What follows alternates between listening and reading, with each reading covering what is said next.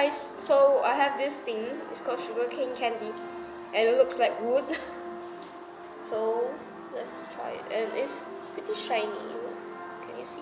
I don't know. I don't think you can see this on videos. So let's try it.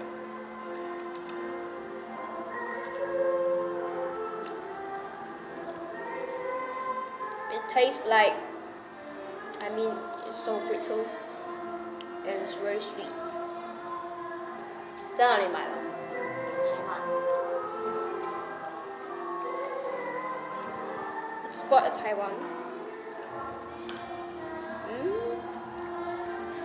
So if you guys can get this one, you should try it. Tastes good. So, bye guys.